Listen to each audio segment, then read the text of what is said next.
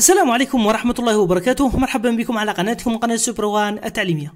اليوم لدينا درس الموارد الطبيعية على الصفحة 96 من كتاب التاريخ والجغرافيا لسنة رابعة ابتدائي.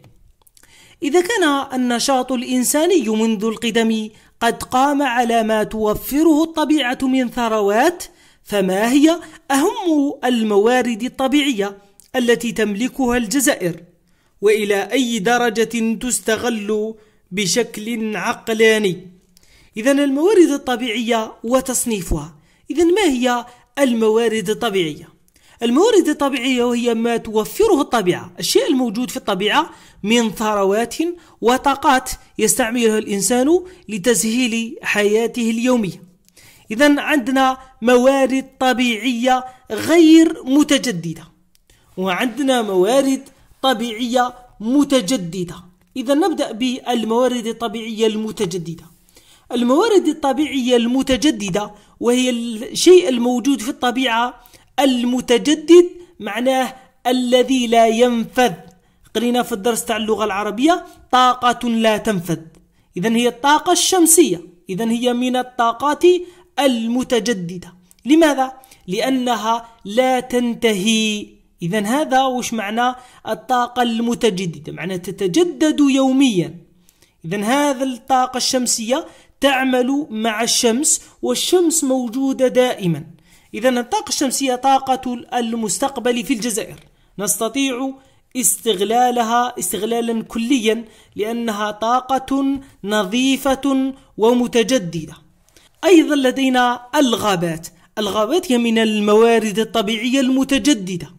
لأنها تنمو وتتجدد كل سنة لكن يجب المحافظة عليها وتجديدها بالتشجير وبالرعاية لأنها توفر لنا غطاء نباتيا وتوفر لنا أيضا الخشب وتحمينا من التصحر إذا هي من الموارد الطبيعية.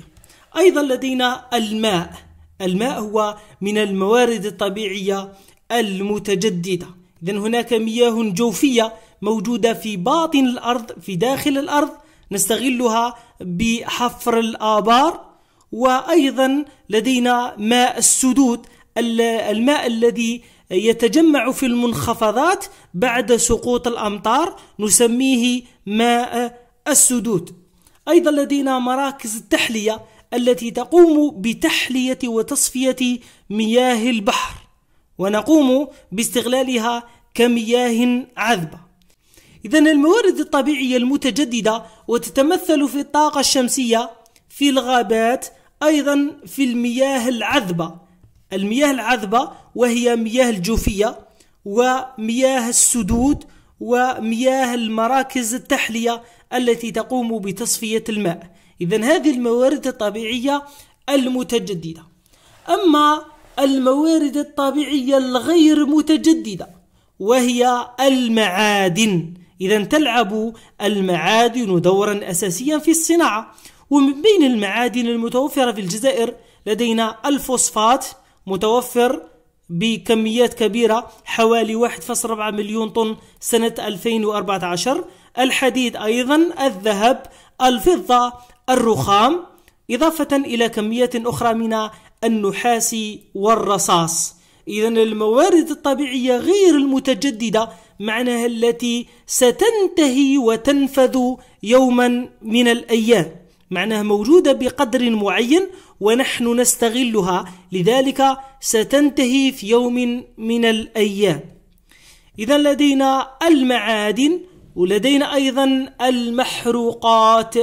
ما هي المحروقات؟ المحروقات وهي البترول أو النفط أيضا الغاز الطبيعي. إذا هذو نسموهم المحروقات. إذا هي من الموارد الطاقوية.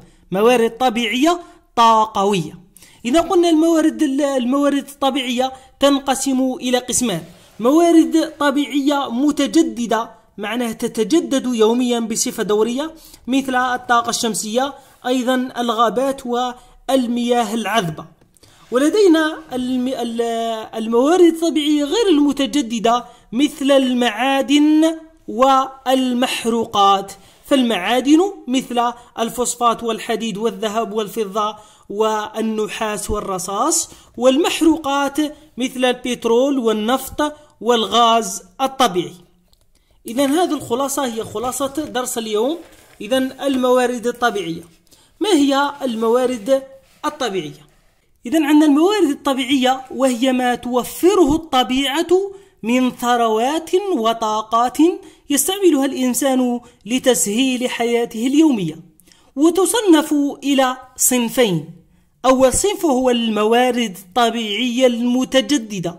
قلنا متجددة معناه لا تنفد مثل وتتمثل في الطاقة الشمسية والغابات والمياه العذبة. ما هي المياه العذبة؟ المياه العذبة وهي المياه الجوفية الموجودة في الآبار أو تحت الأرض ومياه السدود وهي مياه الأمطار التي تتجمع في المنخفضات ومراكز التحلية أي مراكز لتحلية مياه البحر ونجعلها مياه عذبة ثم في التصنيف الثاني لدينا موارد طبيعية غير متجددة معناه ستنتهي في يوم من الأيام وتتمثل في المعادن المعادن مثل الفوسفات والحديد والذهب والفضة والنحاس والرصاص وأيضا المحروقات من نفط وغاز طبيعي. مفهوم؟ إلى هنا يكون خلاص معنا الفيديو تاعنا لنهار اليوم. أترككم في رعاية الله وحفظه والسلام عليكم ورحمة الله وبركاته.